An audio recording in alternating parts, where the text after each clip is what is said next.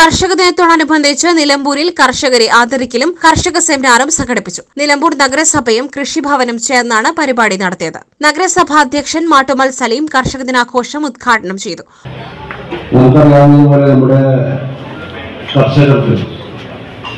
പല വിധത്തിലുള്ള ബുദ്ധിമുട്ടുകളെയും അവഗണിച്ചും മറ്റുമാണ് മുന്നേറിക്കൊണ്ടിരിക്കുന്നത്. നേരത്തെ പറഞ്ഞതുപോലെ ഒരു ഭാഗത്ത് ആനയുടെ ശല്യമാണെങ്കിൽ മറ്റൊരു ഭാഗത്ത് പന്നിയുടെ ശല്യമാണ്. മറ്റു പല പ്രാണികളുടെയും ശല്യം. അതിലുപരി ഇപ്പോൾ പുതിയതായിട്ട് നമ്മുടെ മയിലുമായി ബന്ധപ്പെട്ട് മയിലിന്റെ ശല്യം.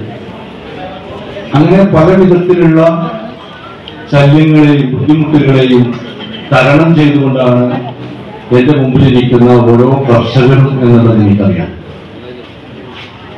കർഷകരെ സംബന്ധിച്ചിടത്തോളം മണ്ണിനോട് മല്ലടിച്ച് ഈ നാടിന്റെ ആരോഗ്യകരമായ ഒരു വലിയ ഇടപെടലാണ് കർഷകർ നടത്തിക്കൊണ്ടിരിക്കുന്നത്.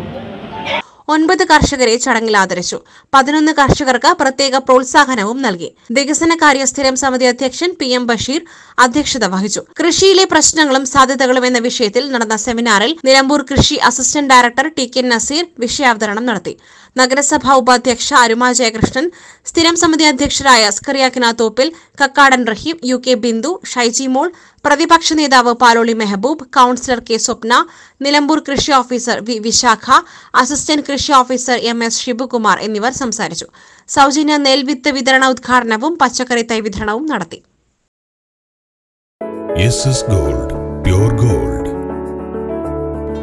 ഗ്രൂപ്പ് നിലമ്പൂർ.